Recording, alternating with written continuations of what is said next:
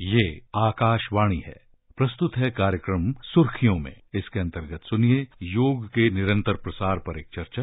भाग ले रहे हैं योग और आयुर्वेद की विशेषज्ञ डॉक्टर राखी मेहरा और आकाशवाणी संवाददाता कमल कुमार प्रजापति। संयुक्त राष्ट्र से मान्यता मिलने के बाद 2015 से हर साल 21 जून का दिन अंतर्राष्ट्रीय योग दिवस के रूप में मनाया जाता है और हम सभी जानते हैं कि जब से योग दिवस के रूप में ये दिन मनाया जा रहा है विश्व भर में योग का तेज़ी से प्रसार हुआ है। लोगों ने योग को अपनी जीवनचर्या का हिस्सा बनाया है और इसके लोगों के जीवन में सकारात्मक परिणाम हमें देखने को मिल रहे हैं। आज हम योग के विश्वभर में हुए प्रसार पर बात कर रहे हैं। और हम जानते ही हैं कि इस बार का योग दिवस का आठवां संस्करण है। विशेष आयोजनों के साथ इस बार का योग दिवस 21 जून को मनाया जा रहा है। कई आयोजन इस मामले में विश्व भर में और भारत में होंगे। डॉक्टर राखी मेहरा, योग ने दुनिया को किस तरह एक संतुलित, स्वस्थ, शांत जीवन शैली सिखाने की इसमें क्षमता है? और बीते सालों में जिस तरह से दुनिया ने योग की क्षमता को स्वीकार्यता दी है, इसे पहचान दी है अब हम इसे योग दिवस के रूप में सेलिब्रेट कर रहे हैं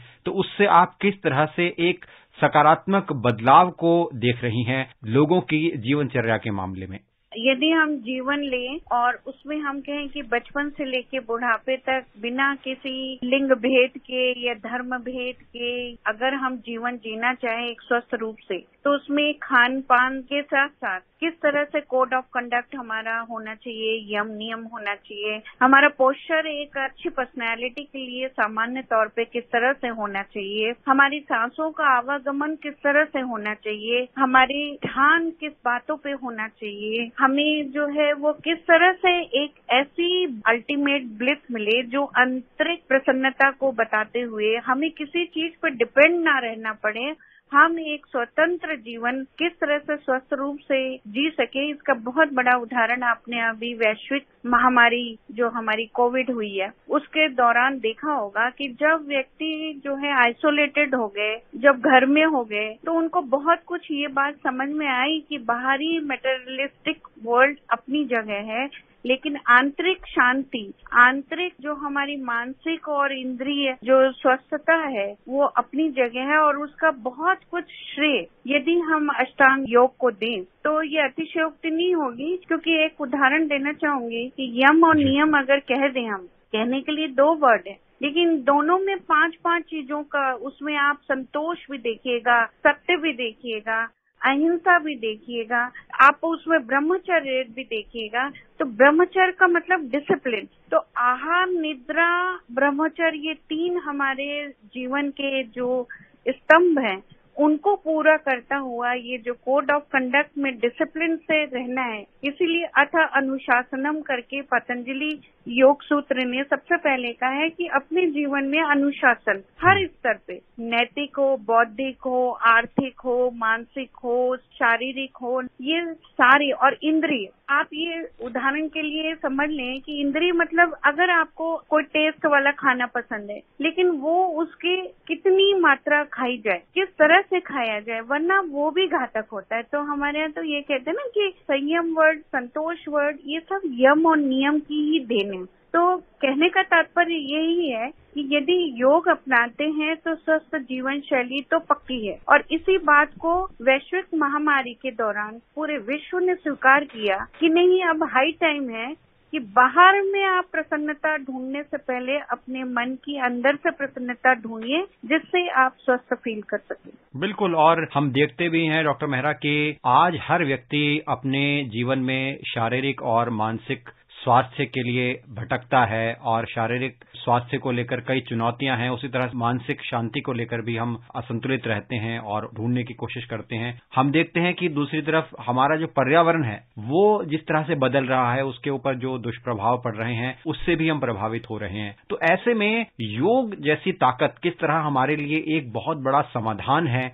इस बदलते परिवेश में या हमारी बदलती जीवन शैली में? हम लोग कहते हैं human being is the best creator of the nature nature को सस्टेन करने का काम यदि देखा जाए तो सबसे ज़्यादा मनुष्य को ही है, क्योंकि मनुष्य एक ऐसी क्रिएटर है जिसके पास में विवेक है डिस्क्रिमिनेशन पावर है कि क्या अच्छा है, क्या बुरा है अल्टीमेटली इसमें यहाँ पे एक बहुत बड़ी बात होती है, खुद के हित के लिए क्या है? तो आपका हित भी परहित में ही है, क्योंकि जब तक पर्यावरण ठीक नहीं होगा, आपका स्वहित नहीं आएगा। आपके खुद के प्राण गड़बड़ हो जाएँगे। तो अगर अल्टीमेटली देखा जाए तो यम और नियम में अपरिग्रह आता है। अपरिग्रह मतलब बहुत ज़्यादा संचय नहीं करना है। जिसको जितनी चीज़ की ज़रूरत है, हमें हवा, पानी और मकान सबकी ज़रूरत है। लेकिन कितनी? तो जो अपरिग्रह, संचय और ये सब जो बात चाहते हैं, यदि उसको यौगिक दृष्टि से स्वीकार कर लिया जाए या हम उस चीज़ को वास्तविक अर्थ को समझ ले तो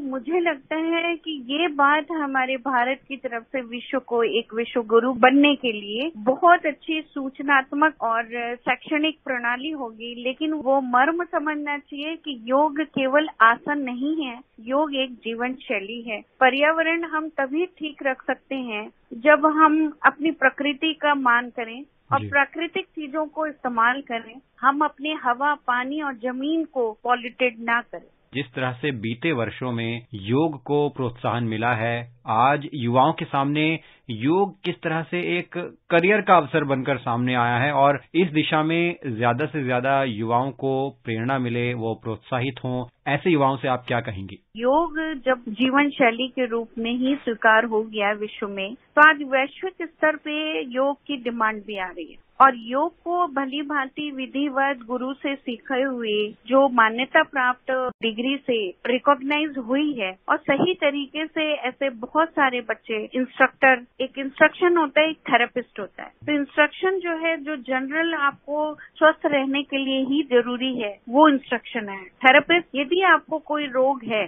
और आपको पर्टिकुलर उस रोग में कौन सा क्या करना है, इस बात की और किस तरह से करना है, इस बात की प्रेरणा जो दे रहे वो थेरेपिस्ट है। ये हमारे ऐसे बहुत सारे और आज की शैक्षणिक स्तर पे आप कम से कम भारत में तो हर जगह स्कूल में एक योग टीचर की आवश्यकता है। यही आवश्यकता अब हमारे सामाजिक जीवन में जो हमारी रेसिडेंशियल कॉलोनीज है, वहाँ पे ज़रूरत है। राज्य सरकार हो और भारत सरकार हो, इन सब में आपको प्राथमिक चिकित्सा केंद्र से लेके कम्युनिटी हेल्थ सेंटर से लेकर के रेसिडेंशियल कॉलोनी से लेकर के, अस्पतालों में एक एसेंशियली जो है वो योग के एक्सपर्ट्स चाहिए हैं। इसके साथ ही आपने देखा होगा कि आजकल योग में बीएससी, एमएससी, एमडी ये सारी विधियाँ हैं और योग का मान्यता प्राप्त एक सर्टिफिकेशन जो है वो हमारी भारत सरकार के आयुष मंत्रालय से निकलता है, जिसके सर्टिफिकेशन के बाद विश्व में आप कहीं पे भी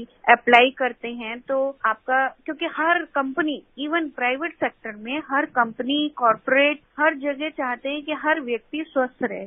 और उसके लिए बेहद ज़रूरी है एक इंस्ट्रक्टर की, एक थेरेपिस्ट की। तो ये डिमांड ऐसी है कि ये बढ़ती ही जा रही है, क्योंकि व्यक्तियों की संख्या जितनी बढ़ रही है, उनके अस्वस्थ होने की संभावना भी बढ़ रही है और उनको स्वस्थ करने के लिए उतने सोर्सेज भी बढ़ रहे हैं। तो डिमांड आ रही है सप्लाई की तैयारी है और वो भी क्वालिटी की तो मेरे समझ में एक चीज़ है कि योग आज के दौर में यदि हम ऐसे लें कि बहुत ज़्यादा हमारे स्टार्टअप्स के लिए बहुत ज़्यादा हमारे काम काज के लिए एक अच्छा अवसर दे रहे हैं। निश्चित रूप से और अंतर्राष्ट्रीय योग दिवस 2022 आने में बस दो ही सप्ताह बाकी हैं और निश्चित रूप से इस मामले में पहले से ही तैयारियाँ जोरों शोरों पर हैं, लेकिन जो विशेष आयोजन है, वो 21 जून को हमें देखने को मिलेगा, जिसकी हम सभी को प्रतीक्षा है, और इस दौरान हम आपसे योग दिवस पर चर्चाएँ करते रहेंगे। डॉक्टर राखी मेहरा, आप कार्यक्रम में जुड़ी, और योग के प्रसार और योग के महत्व को लेकर आपने हमारे श्रोताओं को महत्वपूर्ण जानकारियाँ दी। हमसे जुड़ने के लिए आपका बहुत बहुत धन्यवाद। जी सर्वे भवंतु सुखिना सर्वे संतु निरामया सर्वे भद्राणि पश्यंतु माँ कश्चित दुख भाग भवे अभी आप सुन रहे थे योग के निरंतर प्रसार पर चर्चा। भाग ले रहे थे योग और आयुर्वेद की विशेषज्ञ डॉक्टर राखी मेहरा और आकाशवाणी संवाददाता कमल कुमार प्रजापति। ये कार्यक्रम आकाशवाणी के समाचार सेवा प्रभाग द्वारा प्रस्तुत किया गया। इसे आप हमारे mobile app news on AIR और YouTube channel news on AIR official पर भी सुन सकते हैं। कार्यक्रम के बारे में अपनी प्रतिक्रिया आप हमें ईमेल कर सकते हैं।